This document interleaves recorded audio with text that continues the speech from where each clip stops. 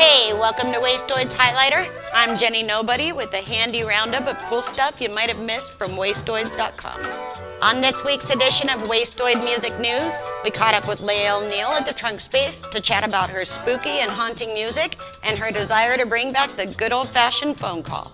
And speaking of phone calls, we've got a new episode of Hotline featuring post-punk trio Molchat Doma answering your questions from the 1877 Wastoids Hotline.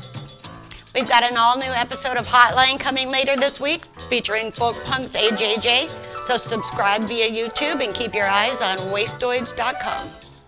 There you'll find an all-new episode of Midnight Music Review in the Attic featuring animator, painter, and musician John Andrews. Bob. And he stopped and they turn. I'm running at him and I sort of stop and he looks right at me and we have amazing eye contact. And he looks at me, he's like, I don't know you, suck a dick. Plus, 3l3d3p joined us to share some of her favorite music videos and discuss her new I Don't Listen video.